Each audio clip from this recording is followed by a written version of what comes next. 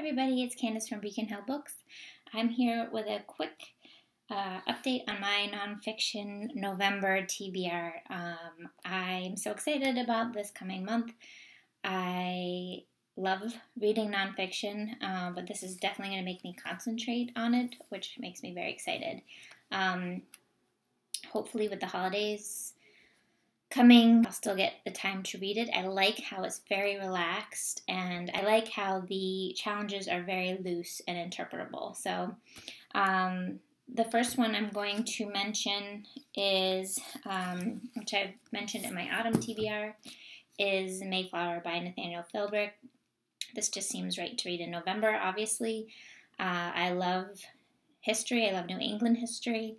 I've read books by Philbrick and enjoyed them. Um, so I am hoping that I'll get into this and hopefully finish it. I don't know that these are really considered nonfiction, they're more memoirs, but I have March Book 2 and 3. This is by John Lewis, Andrew Aydin, and illustrated by Nate Powell. I read uh, the first one last month, it was very good, and Rincy had recommended that you read them in fairly quick succession, so I would like to read those. I guess I should say this would do the challenge for home, since this is very close to where I live.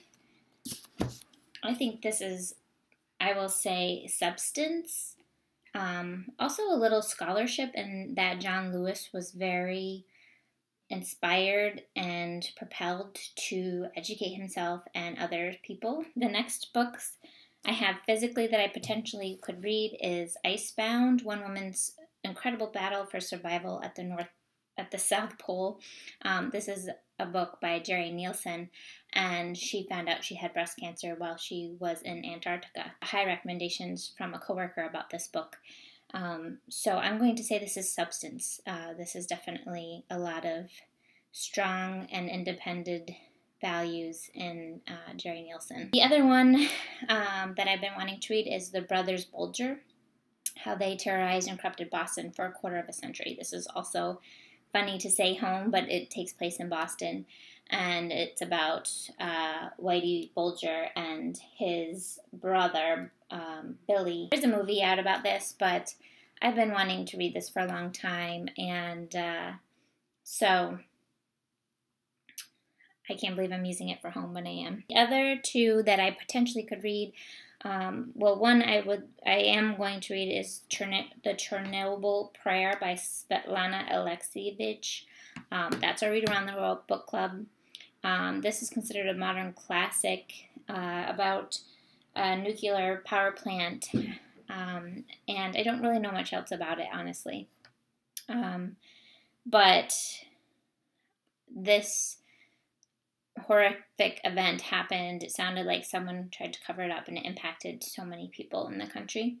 Um, so that's a potential one. And also, I have on hold Shirley Jackson, A Rather Haunted Life uh, by Ruth Franklin. And as much as I would have liked to read this as my nonfiction in, in autumn as well, uh, the autumnal TBR-a-thon, I, I recently read We Have Always Lived in the Castle, and then the lottery. I started the sundial, but I don't know that I'm going to be able to finish it. But I am on a severe Shirley Jackson kick.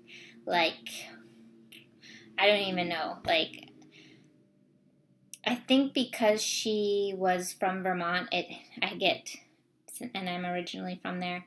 Um, I'm totally inspired by her and sort of her story of being an outcast. I wanted to learn and read more about her so that's my selection. And, you know, who knows, it might change. It, it, it's always possible, but I'm really looking forward to everybody's updates and videos about Nonfiction November and hope to hear a lot of great books that uh, I will hopefully get to um, to read as well. So thank you guys for watching.